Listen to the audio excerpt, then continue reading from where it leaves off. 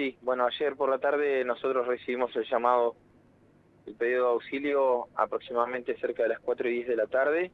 en donde nos informaban sobre un incendio de vivienda en la calle Formosa, intersección con Sadowski. Bueno, hasta allí se traslada una unidad de bomberos, eh, la que, bueno, encuentra un incendio generalizado. Eh, y bueno, obviamente todo el nerviosismo y la angustia claramente de la familia por esta situación,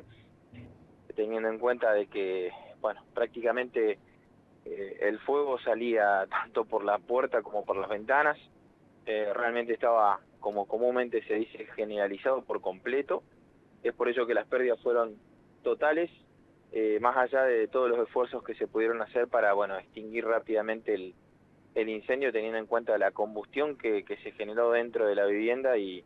lo rápido que el fuego consumió absolutamente todas las pertenencias de esta familia. Todavía no se pudo determinar, eso también es materia de, investigación,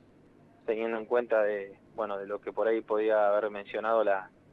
misma familia en cuanto a si estaban cocinando, si estaban en este caso o con algún inconveniente eléctrico. Eh, lo cierto es que para que este tipo de incendios se generalice de, tal manera, tiene que haber algún tipo de acelerante o algo que en este caso pueda generar de que avance rápidamente. Por eso uno no descarta a veces la presencia del gas o de algún tipo de combustible, del que fuere, eh, que pudo haber sido también el, que aceleró la combustión dentro de, de, esta vivienda y que bueno generó también la intervención de personal del Hospital de Centenario previa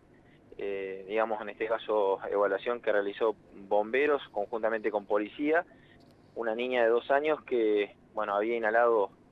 eh, los gases tóxicos de la combustión, fue también atendida, recibió las primeras atenciones luego fue trasladada al hospital teniendo en cuenta de, esta situación.